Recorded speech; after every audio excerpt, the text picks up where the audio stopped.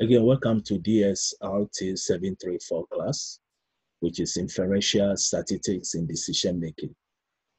In these lectures, we're going to discuss about geometric and also Poisson discrete probability distribution.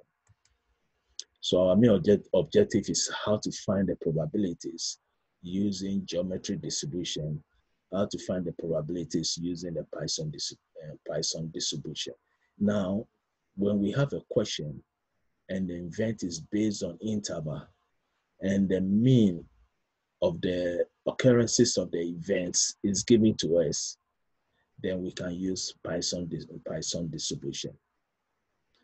When the probability of success is given to us, and the, we know the random variable, then we can use geometric distribution.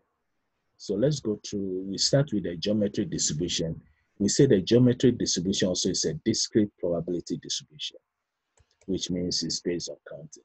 So it satisfies the following condition. A try is repeated until a success occurs. And also a repeated tries are independent of each other. Now the probability of success P is constant for each try then the probability that the first success will occur on try X is giving us P, lowercase p, is the probability of success, times Q, which is probability of failure raised to the power X minus 1. X is our random variable. Now to find the Q, it will be 1 minus P. So let's try an example here from experience, you know that the probability that you will make a sale on any given telephone call is 0.23. Find the probability that your first sale on any given day will occur on your fourth or fifth sales call. So here we are going to find the probability when the random variable is fourth and also when it's fifth. Since it's fourth or fifth, we're going to add the two probabilities together. Here we can use geometric distribution. Why? Because the probability of success is given to us. And we are finding probability that your first cell on any other, whatever the random variable is here is for the fourth and the fifth cells. So probability cells on fourth or fifth call is 4 plus 5, or probability of fourth call plus probability of fifth call. Now we know the probability of success is 0.23. So probability of failure will be 1 minus 0.23, which will give us 0.77. The random variable is 4 and also 5. So here we find the probability that we are in the fourth call is 0.23, which is P, times Q, which is 0.77, raised to the power s minus 1, which is 4 minus 1. And this is our answer when we use the calculator. Probability of the fifth call will be 0.23 times 0.77. By this time, the random variable is 5, so 5 minus 1, 0.0 is 0052. So we know that the, the one of the rules uh, conditions said the probability of success is constant for each try. So we use 0.23 in all the tries. So we have 4 plus probability of 5. So we add them together. And this would be our solution. So next we do the Poisson distribution. Also a Poisson distribution is a discrete probability distribution. Also, it satisfies the following condition. The experiment consists of counting the number of times an event S occurs. The key point is that this is in a given interval.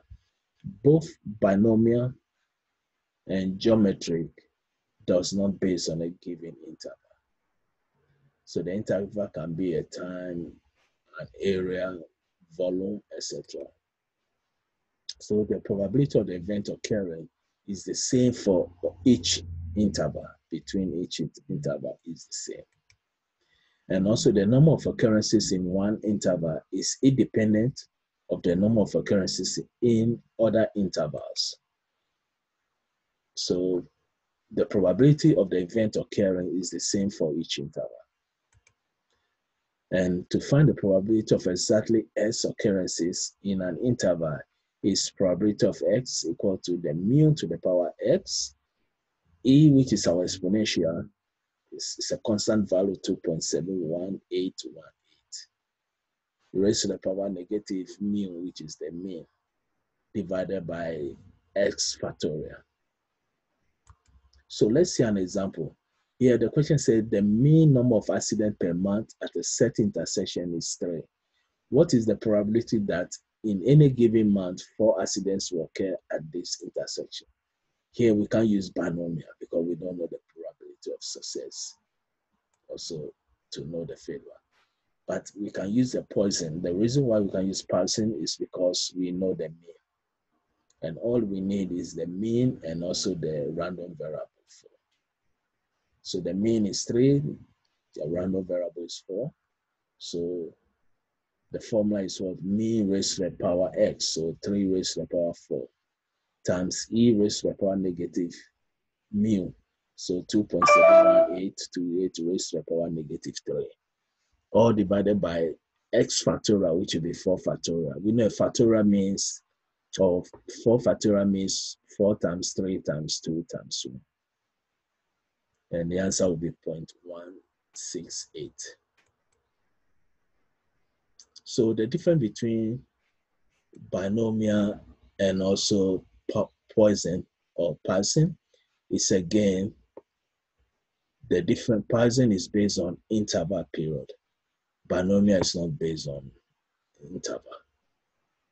So in summary, we learn what is a geometric distribution and Poisson distribution we see their formulas, how to use them to find their probabilities.